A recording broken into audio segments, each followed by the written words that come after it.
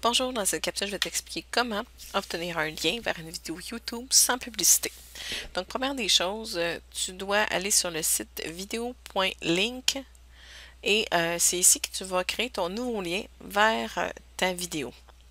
Donc, ici, j'ai trouvé une vidéo sur YouTube que je désire partager. Donc, par exemple, celle qui se trouve ici. Je fais pause, voilà, et je vais copier mon lien. Donc, bouton droit copier CTRL-C et je viens le coller ici. Donc, je clique et je fais coller. Donc, mon lien apparaît ici. Je clique sur Generate Link.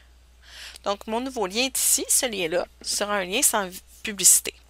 Je peux également aller sur ici l'option Customize Crop. Ça va me permettre de changer, par exemple, le titre de la vidéo. Donc, ça pourrait être tout simplement Class Craft Introduction. Il est possible de désactiver les boutons de partage ici. Également, de choisir si je veux que ma vidéo démarre automatiquement lorsqu'on arrive sur le lien. Donc, je pourrais faire mettre non ou oui, selon ce que je désire. Et ici, j'ai une belle option qui permet de découper ma vidéo. Donc, si je veux juste un extrait de cette vidéo-là, je peux aller sélectionner, par exemple, que je veux, si je veux arrêter ici après 1 minute 45, mais je fais OK. Donc voilà, on voit ici que la vidéo va être du début jusqu'à 1 minute 45. Je pourrais aussi décider de partir plus loin. Donc je peux bouger ici le début de la capsule si je le désire, la fin et faire OK. Donc voilà, je fais Save pour enregistrer.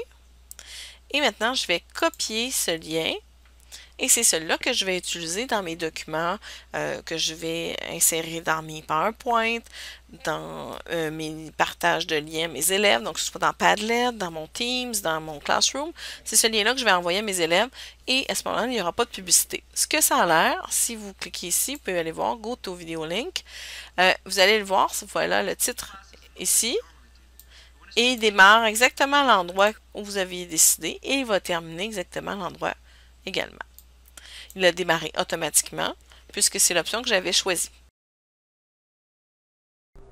Une autre façon pour partager une vidéo YouTube sans publicité, en mode plein écran et sans suggestion de lecture, c'est de copier le lien qui apparaît ici en haut, de le copier, et quand vous allez le partager, c'est de le partager avec un trait d'union entre le T et le U de YouTube. Voyez? Une fois qu'on aura cliqué sur ce lien, on voit la vidéo s'ouvrir en mode plein écran, sans publicité et sans suggestion de lecture.